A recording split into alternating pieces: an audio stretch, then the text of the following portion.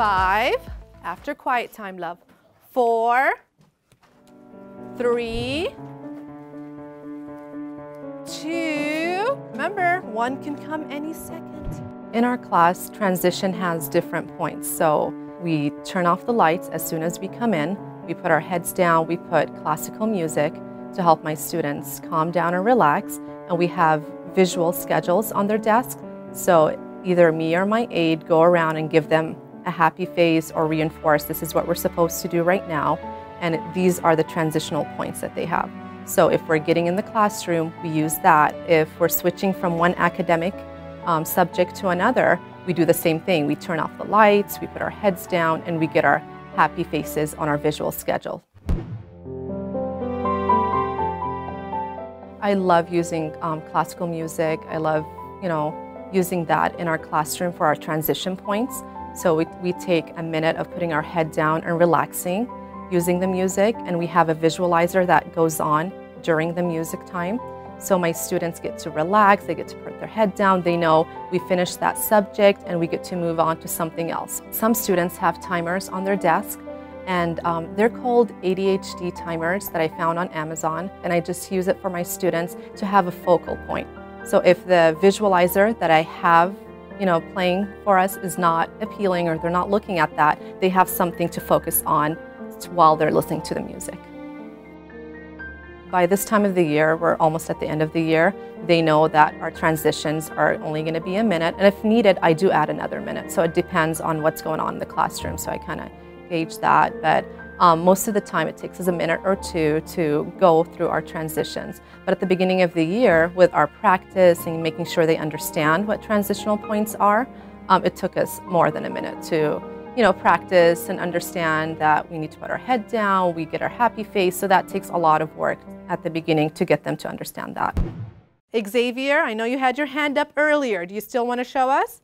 All right, Xavier, I want you to go to my table. Show me how we're supposed to walk to our ta my table. He pushed his chair in. Oh, look at that beautiful addition. He put his hands behind his back and he's walking like this very nicely. And he's sitting down. Awesome. And he's ready to work. He's looking at his iPad and he can't wait to start working, right? Thank you, Xavier. You're awesome. I love how you added the hands behind your back even though I don't say that unless you're in line, but I like that addition. That was awesome. The reason I had students model in the classroom today is shows that the student knows how to do it. And when a student is showing another student how to do it, it re they really buy into that. All right, so now is the real going to our group time, okay? Can we do this? All right, model students.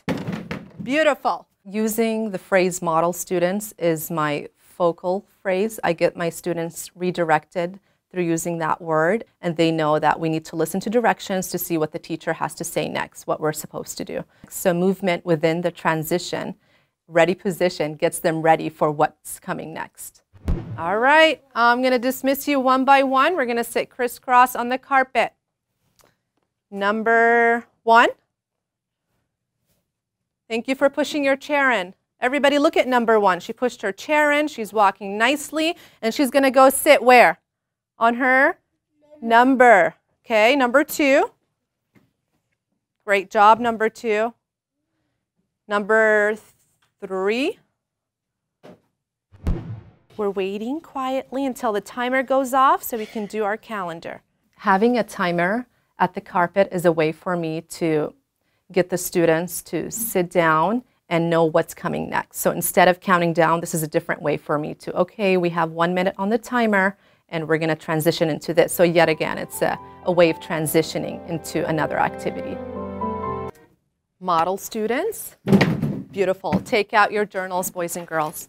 We're gonna do two words today. Mm-hmm. Two words from our spelling words for the week. Schedules are very important in special education because it provides a structure for the student. They know what to expect. It calms, you know, it calms the process of what we need to do in the classroom. It helps us get from one point to another in a smooth way where transitions are easier, we're getting through more instructional time in the classroom, and the student just knows, you know, this I'm doing reading and the next thing on the schedule is math, so they know what to expect, what's coming. Slow is faster when students know what to expect. Students know how to transition. Uh, you move from one activity to another without having to redirect, without having the behaviors interfering with the learning time.